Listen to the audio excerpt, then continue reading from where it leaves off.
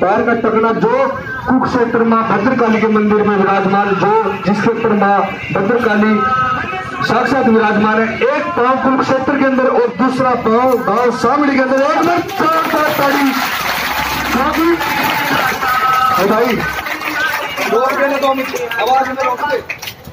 क्योंकि ये धन्य भाग होते हैं जी अपनी संगत के लिए इस गाँव के लिए क्योंकि माँ का साक्षात जहाँ माँ भद्रकाली इस पाँव से कुरुक्षेत्र के अंदर विराजमान है और दूसरा पाँव सामने गाँव के अंदर संजय शर्मा जी माँ को भेंट करते हुए देखो माँ तो भेंट लिया करे और संजय शर्मा जी ने तो खुद माँ ते भेंट दे दी।